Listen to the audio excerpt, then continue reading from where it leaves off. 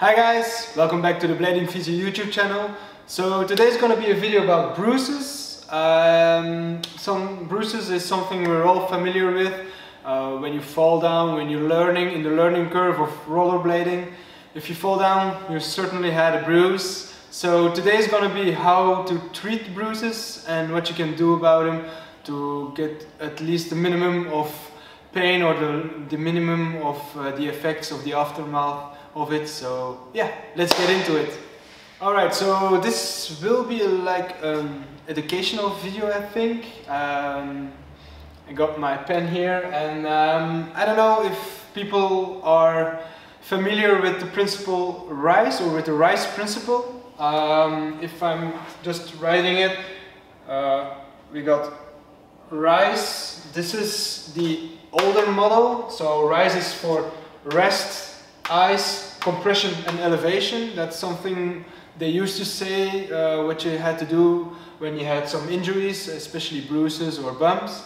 Um, right now, RICE is uh, off the chart and we speak of, um, let me just write it down. Yeah, we, we speak of police or police, I don't know, if, if you come from RICE, I often say polite, but it's police.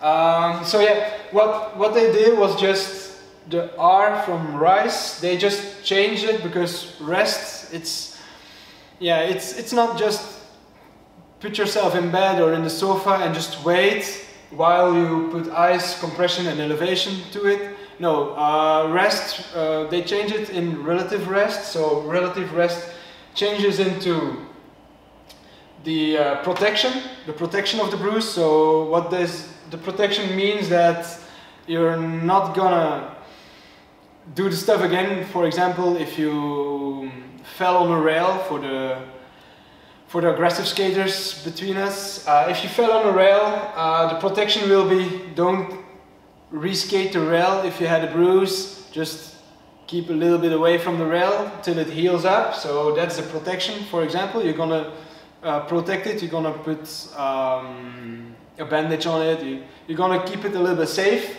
And the other thing is optimal loading. So rest is like just putting yourself in the sofa and waiting. Uh, optimal loading means you just continue your daily life, so your daily life events. Um, you just keep walking to the kitchen or you keep going to, to your job, etc even if you had a bruise or even if you have a bruise, um, you keep doing all this stuff, but the optimal loading is in like, it's not because you fell down and you fell on a rail that the other day or the next day you, you go running for half a marathon or you go skating for the twice as long as you used to do. So no, even if you fell, you can still go skate or go, go for a walk or maybe go for a run. But try to keep it low, just keep moving it, keep moving the, the, the injured limb, just so it, it keeps moving and it is still mobile, so it won't really harden up. If, if you rest, everything just gets tensioned up and, and gets hardened. So that's the optimal loading. You keep moving it, you keep moving around, but you're not going to exaggerate in what you're doing. Um, and then the rest is just again ice compression elevation. So ice, um, the best time frame for putting ice on a bruise is within the first 48 or 72 hours. Um, after you fall, try to put as quickly as possible ice on it for at least 10 to 15 minutes, then take it off, wait a little bit and put it back on. Uh, the putting it off and putting it back on is just to prevent for um, other injuries like burns. Uh, yes, you can have burns from putting ice on it. If you put ice on the bruise, uh, put something between it, um, just a towel or put it in a little sack. So you don't go uh, directly with the ice on the skin because that can give you some burning uh, injuries. So yeah, I'm, I'm just saying this, this, this sounds um, pretty obvious, but we have people that believe in flat earth, so that's why I'm, I'm just I'm just saying, yeah, I'm, I'm not taking any risks here. Um, then compression, if you put the ice on it, try to press on it too. So um, yeah, you put the ice on it and then keep some pressure on it. That will help for uh, the the blood flow to stabilize it and, and that, that the blood flow is like limited to it uh, will also help for the swelling to reduce the swelling. Also ice is for uh, reducing swelling and pain. Compression also reducing swelling. Uh, blood flow is limited so it won't uh, swell and um, get more of a blue and then the last thing also for to limit the swelling and uh, to contract on the blue or getting it more blue is elevation.